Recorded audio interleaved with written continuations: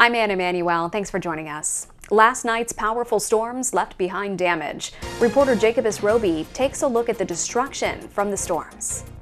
What some say ended as a good family weekend has now turned into a tragic loss. We had had Father's Day dinner up here and sat around all day, and the wind was cool and everything was good. And then right after I left, it started to thunder and lightning, and lo and behold, the storm, the tornado came through and demolished my grandmother's house. Elijah Wilson is a resident of Laurel, Mississippi. She was at home when the confirmed tornado came through, but made her way back to her grandmother's house upon hearing about the destruction.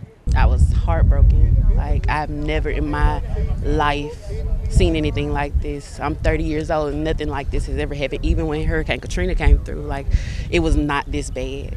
The confirmed tornado is said to have come through just before midnight, injuring 18 people and claiming the life of at least one person.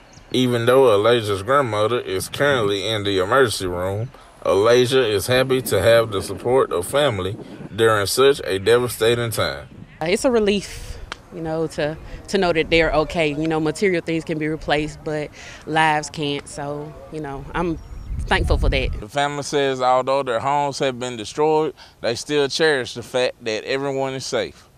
In Jasper County, Jacobus Roby, Fox News.